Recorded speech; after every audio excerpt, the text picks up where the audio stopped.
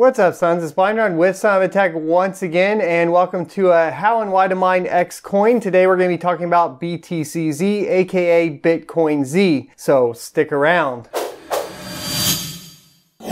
Welcome back. Today I'm going to show you how to mine Bitcoin Z on both AMD and NVIDIA GPUs and mining to the SOAT pool. The SOAT pool is the Son of a Tech community pool and you can see other pools at coins.sonofatech.com.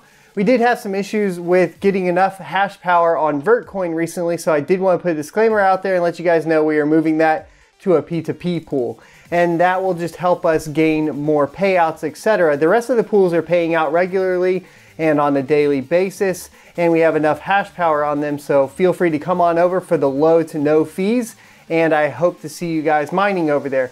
But today we're going to talk about how to mine Bitcoin Z to it, and we're getting a lot of good payouts, so I'm excited to share this with you guys. Starting things off, we're going to go ahead and take a look at the wallet, which you can get from GitHub, which is just the Bitcoin Z wallet for Windows.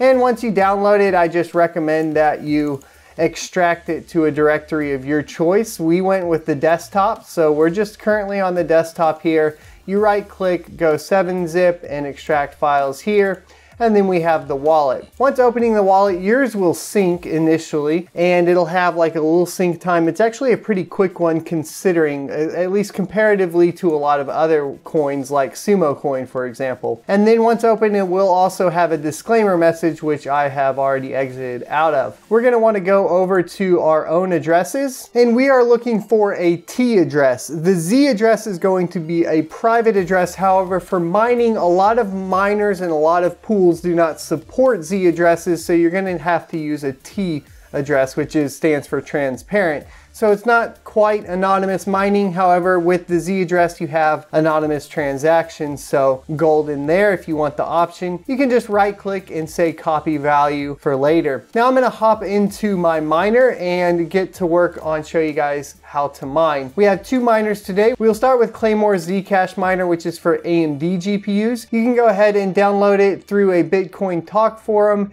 and head on over to the Mega Upload. Once you're on the Mega Upload, you're looking for the bottom version, which is going to be the latest version that's also a zip file. So we're also looking for zip, not for a tar. So right here, you'll see that this one is the one that will be used for Windows today. And you can just double click it to download it. We're gonna click save and open the folder and then copy it and then move to our desktop and go to Claymore Zcash Miner and paste it in this folder and you will have nothing in this folder yet but then we're going to just do a 7-zip extract here which I'm not going to do at this point because I already have version 12.6 here. All right, so once you're done with that, you're not actually going to have these two batch files. You're just going to have a zecminer64.exe and a config file. Where usually we would config everything in the batch file, today we're going to config everything in the text file, which is named config.txt. Opening this up, you will see a Z pool, which is going to be the pool we're mining to, a wallet address, which is where you will go ahead and pull up your wallet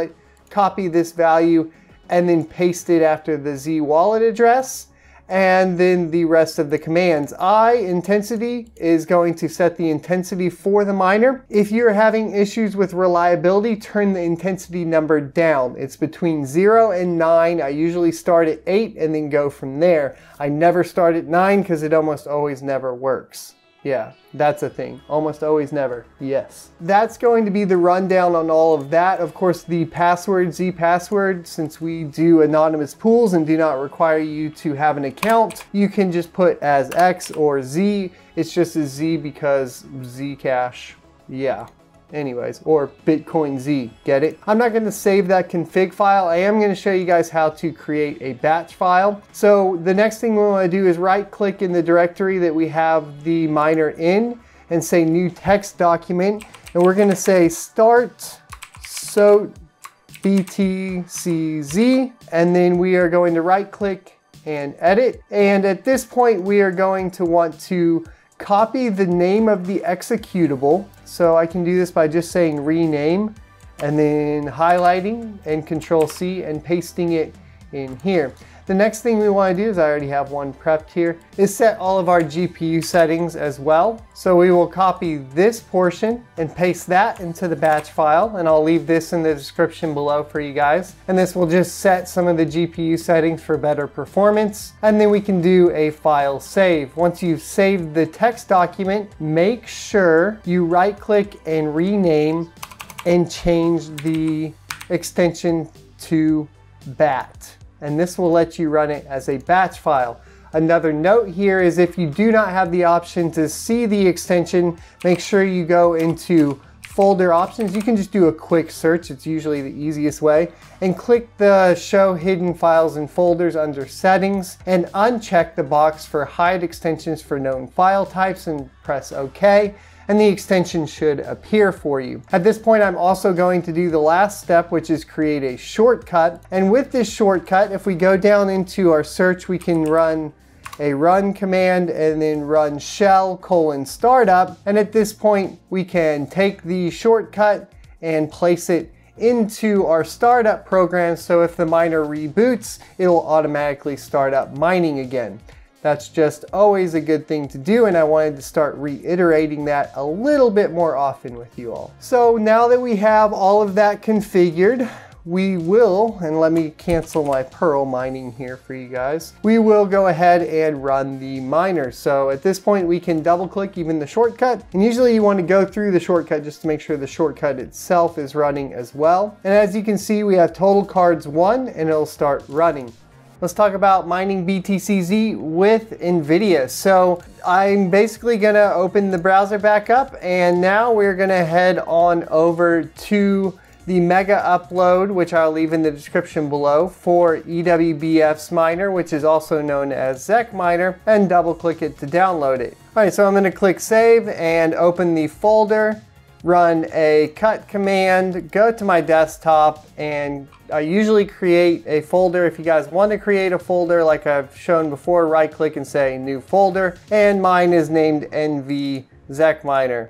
I'll paste that in here, right click, and then go to 7-zip, extract here, or I can just say extract all with the built-in windows, and I will have all of my files here ready for me to mine. At this point, we want to right click and say new text document, and we will do name it so zec, and then this one's just gonna be test, and then name the extension bat. At this point, it'll ask you if you want to change the extension name and say yes. And at this point, we will right click and say edit and we'll have a blank notepad. What I'm gonna do here though is just go ahead and edit this one and copy over my settings from this one and go over the settings. So at this point you have miner, which is going to target the executable in the directory. And then dash dash server, here's where we'll put our Bitcoin Z server, which for Son of a Tech is going to be zcash.sonofatech.com. The port number for it, which is 343